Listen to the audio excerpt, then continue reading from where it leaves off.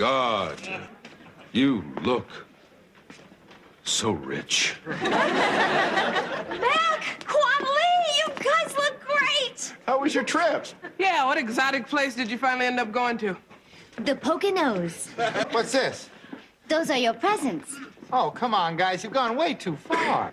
Come on, open them. You first, Bull. Oh, wow! Where'd you find one in my size? What is it?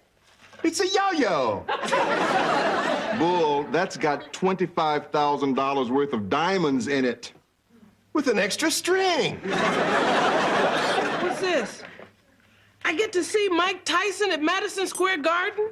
No, you get to fight Mike Tyson at Madison Square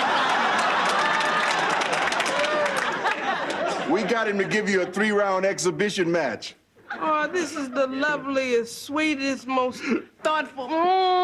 Mwah! I'll rip his freaking head off. Oh, Mac, I love caviar. That's not just caviar, Christine. That's Romanovsky Royale. There's only two fish in the whole world that make that. Edna and Bernice? Okay, Dan, it's your turn. My God. It's a Rolex. The inscription. Dear Dan, whether you believe it or not, I think of you as a friend.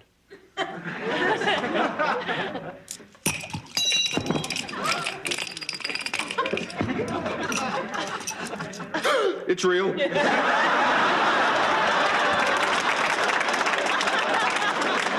Okay, Harry, you're the last one. And I hope you like it because I can't return it. Dear Harry, stand up and count to four. I don't get it. Just do it.